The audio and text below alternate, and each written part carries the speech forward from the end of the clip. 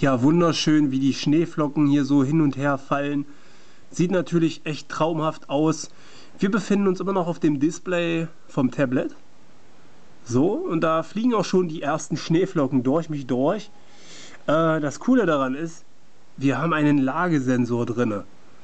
Und zwar sieht man das hier nicht so richtig von der Kamera aus, weil äh, wenn ich jetzt hier oben unter Einstellungen mal reingehe, kann ich euch das mal zeigen. Man kann also die Version laden, die ich jetzt habe, ne? Snow Stars 3 heißt die, äh, als Live Wallpaper und äh, kostet euch keinen Cent.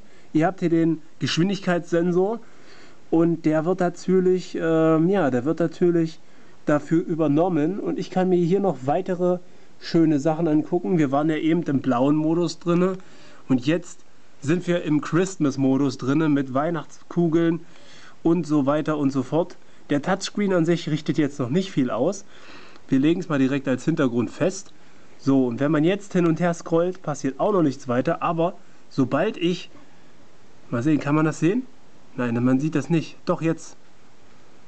Hier. Könnt ihr das sehen? Ich wackel ab und zu und wenn ich es wieder still halte, dann wackelt hinten alles mit. Hier.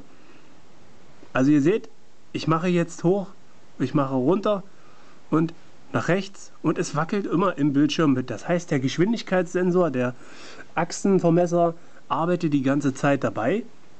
Dann können wir auch nochmal direkt hintergehen zu Live-Hintergründe. Die Version kostet auch um den Euro herum.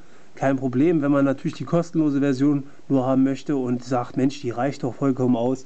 Kein Problem, dann bewertet den Typen auf jeden Fall positiv, weil ich muss sagen, das gefällt mir wirklich sehr gut und ist eine nette Spielerei. Und dann machen wir auch direkt mal das hier als Hintergrund fest. Und die Schneeflocken sind doch eine Sache für sich.